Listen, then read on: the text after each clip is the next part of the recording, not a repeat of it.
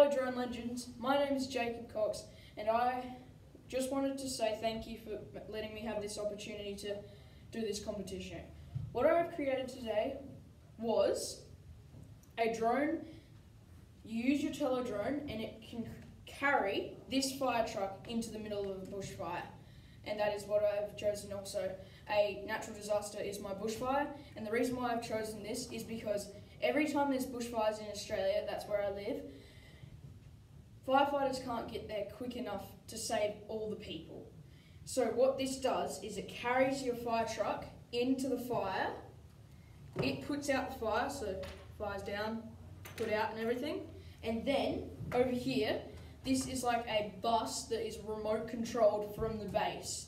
What it does, it drive. It's an all-terrain fireproof truck. It drives through, picks, puts this ladder down, picks up your people, people in, and then if the ladder catches fire while doing it, because that one's the non-fireproof part, you just drop it and it drives away, and people are saved.